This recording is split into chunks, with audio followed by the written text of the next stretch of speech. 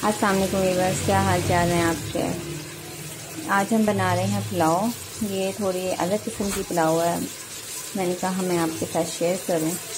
ये मैंने पहले प्याज को ब्राउन कर लिया था ऑयल में और इसके बाद मैंने मीट डाल दिया था, मटन डाला है। इसको थोड़ी देर भुना है और अब इसके अंदर मैंने लहसुन, अदरक का पानी डाल दिया और इसके अंदर अब मैं डालूँगी मसाला। ये मैंने सौंफ, साबुत धनिया और साबुत सुरख मिर्चें ले लिए हैं। अगर आपके पास ना हो तो आप कुटी हुई मिर्चें भी डाल सकते हैं। इसको मैं चॉप कर लूँगी।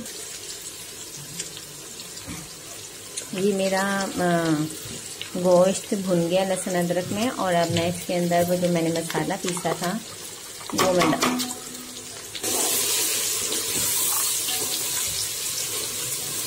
अब इसको मैं इसके अंदर मैं पानी ऐड कर दूँगी, जिसमें ये गोश्त डाल जाए और हमारी यखनी रेडी हो जाए।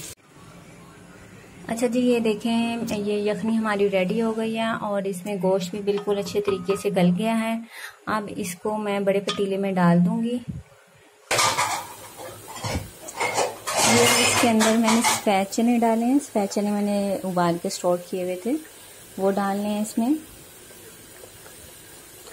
ये किशमिश डाल रहे हैं हम। ये मैंने कुटी हुई मिर्चें, काली मिर्चें, लौंग ज़ीरा पिसा हुआ और नमक और पिसा हुआ गरम मसाला। इसमें हम ऐड कर देंगे।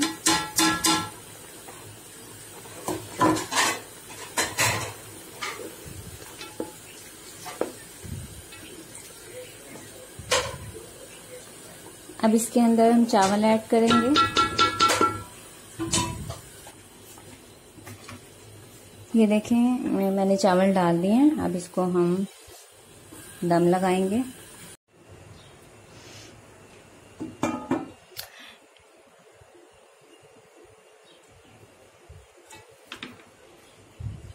ये देखिए जी, हमारे चावल दम पे आ गए हैं और ये किस तरह खिले खिले बने हैं और, अब हम इसको सर्व करेंगे।